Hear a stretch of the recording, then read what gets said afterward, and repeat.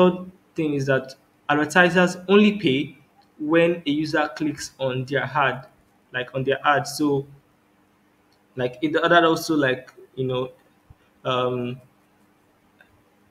that also like backs up the the name pay per click. So the only time the advertiser is going to pay for the ad is only when like people click on on those ads.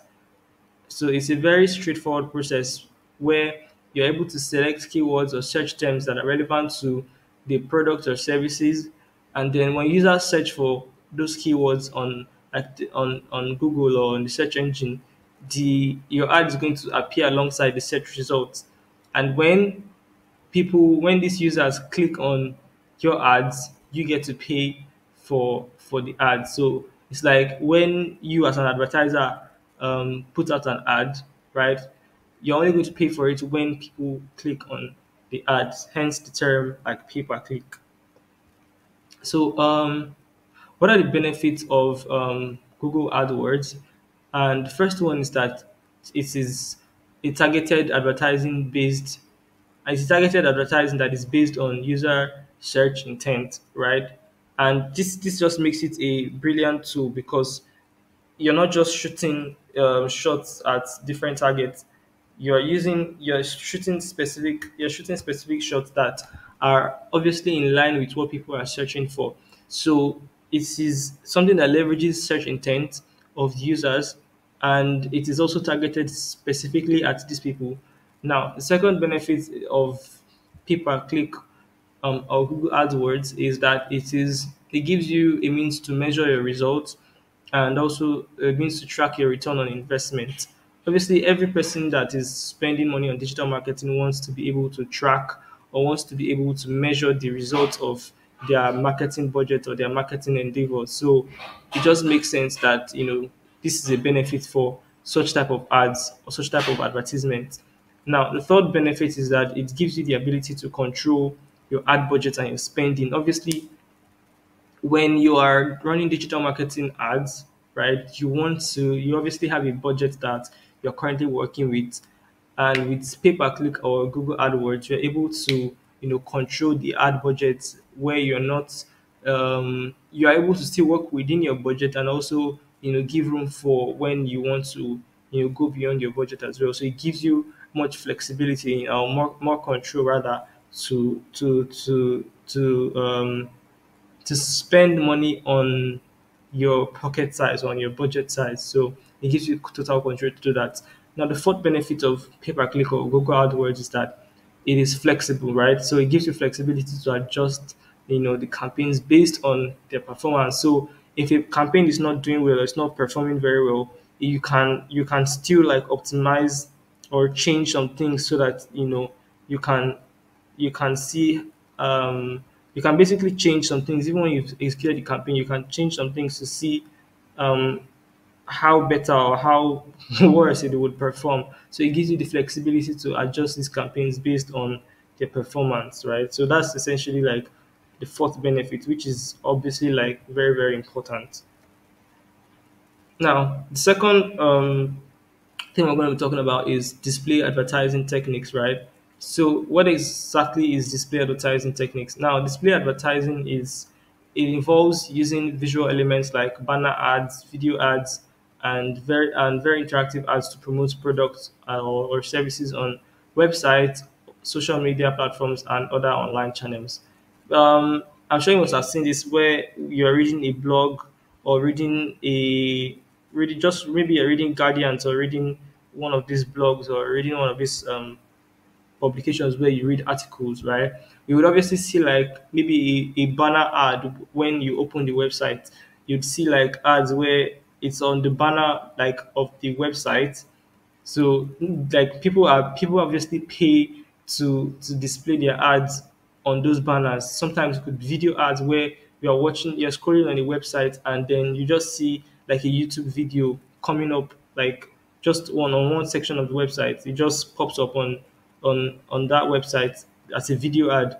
People have paid to display their ads on those particular websites. So that's exactly what display advertising entails. Now there are different types of display advertising. There's banner ads, there's video ads, and there's interactive ads.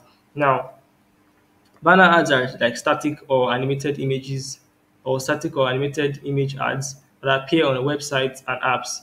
You'd have seen this, or maybe you download a um, a tool to help you download videos from from different social media platforms. When you want to download a particular video, they would show you. They would obviously like show you an ad first before you're able to download the video. So they're they're basically banner ads are like static or animated images or animated uh, image ads that appear on your website on your or your mobile apps. You must have interacted with one of these ads if you are a if you're an avid user of um, websites or you you're you're in the digital era. So there's no way that you will not have come across these ads or this type of um, display advertising.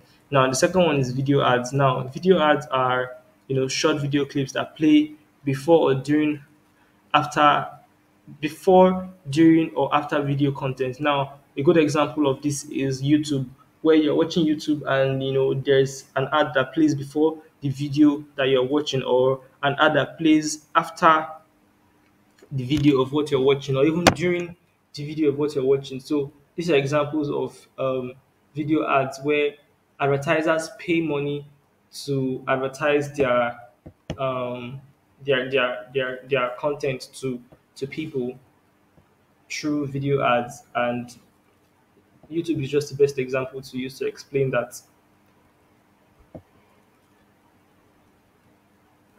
The third one we'll be talking about today is interactive ads. Now, these ads, you know, are ads that allow users to engage with them, such as playable ads or expandable ads.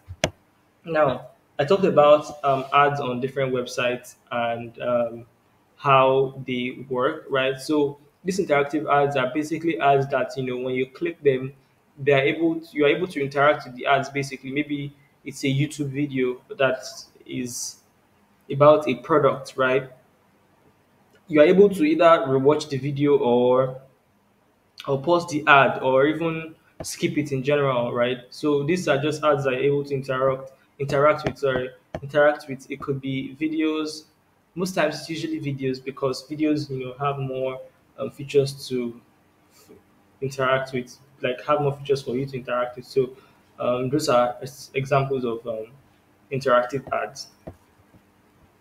Now, display advertising strategies are things that we should obviously like, you know, prioritize if we're going to be leveraging display advertising um, techniques, right? Or like, yeah, if we're going to take advantage of display advertising, we need to learn about display advertising strategies. So the first strategy is target audience. Now, you need to be able to identify the specific audience you want to reach based on their demographics, based on their interest, based on their online behavior as well. Demographics just has to do with like their age, um, maybe their career path, where they are located, things like that. Those are things that you should know about your target audience before you, you know, run targeted ads at them. The second thing that you, the second strategy you need to know or need to leverage is like the ad placement. You need to choose, you need to choose like the relevant websites or apps or social media platforms where your target audience is likely to see your ads, right? So this this is something that we obviously should not, you know, take for granted because if we're going to be advertising to people, we want to make sure that we are advertising in places where they are likely to see these ads, right? So it should be if your target audience is not going to be on social media platforms, you should be placing your advertisement on websites, right? So if you just need to identify your target audience and understand them and know know where they spend most of their time, you're able to do this through research and also through observation. Now, the second or the third strategy is the ad design. Now you have to obviously create eye-catching and engaging ads that capture attention and convey your message effectively. This is as straightforward as it sounds. Your messaging has to be clear, concise, and also captivating because you you people have you know um how do I put it now?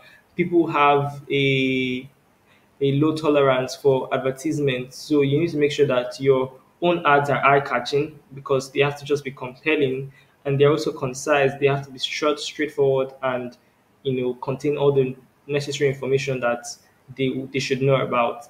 And it should also like you know capture their attention with your ads, making sure that your ads capture their attention and they convey your message um, effectively.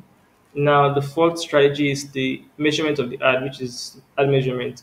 Now, you want to be able to track the ad performance and make adjustments to optimize the result. Obviously, when you run an ad and you see the performance of the ad, you are able to draw inference or draw insight from the data that you have from the result of that um, from the result of that ad that you put out. So the the insights that you get is going to give you you know the next call to action of what you can optimize or what you can change or what you can tweak to make it perform better or to or if you see that the ad even performed well you can see what is working well and see how you can even double down on that.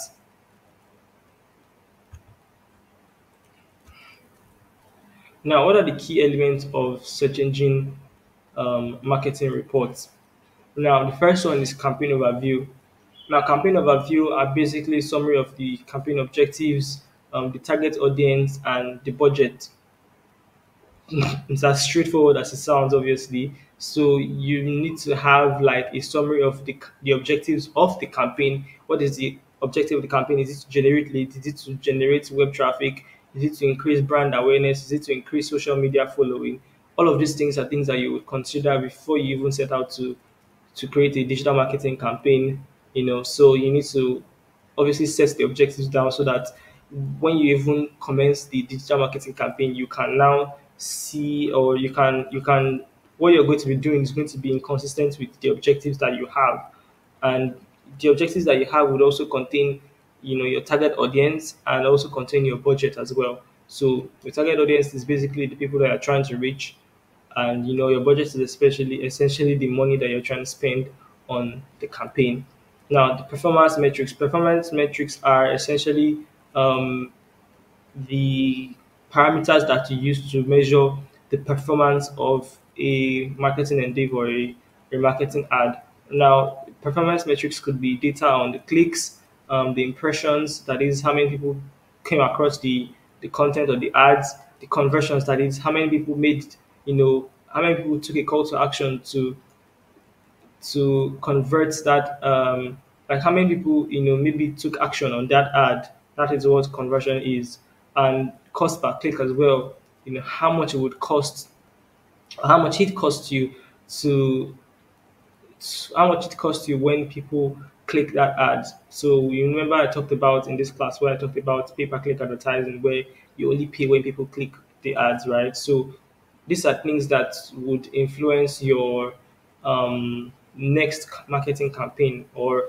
your current marketing campaign where you're able to see the impressions of how many people saw it, the conversions of how many people took action on it, and you know the cost per click where you're able to see um, how much you spent when people click um, your ads as well. So um, the third element of search engine um, marketing reports is trend analysis. Now, this is obviously like a comparison of performance over time to identify trends and to identify patterns.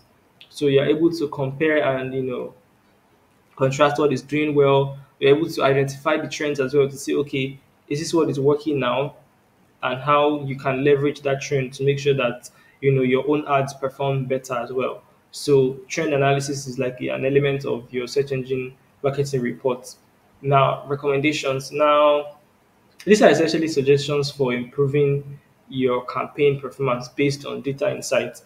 Now, the idea of search engine marketing reports is that when you run a digital marketing ad or you run a digital marketing campaign, all of these things, these four things are things that you have to include in your report because obviously when you are a digital marketer or you are investing in digital marketing for your business, you need to be able to generate reports to see um, the results from that digital marketing campaign. So all of these four elements are things that will be included in your your your marketing reports. So you're able to, you know, see what is working and also um, see what you can optimize from what worked when you are going to do your next digital marketing campaign. So you just have to, it's just a form of documentation for digital marketers, right? So all of these elements are things that you would have to do in your documentation or your report writing process. Okay, this, this is essentially the end of the class. So Um, I hope that everyone has been able to get like a good amount of the things that we talked about today so that you can improve your digital marketing um, skills and your digital marketing endeavors. And um, I wish you guys good luck. And I hope that, you know, all of these things that we talked about today are things that, you know, come in handy when you are running your own digital marketing campaigns in your organization or your business. All right, that's the end of today's class. Thank you so much for your time, and I'll see you in the next one. Thank you.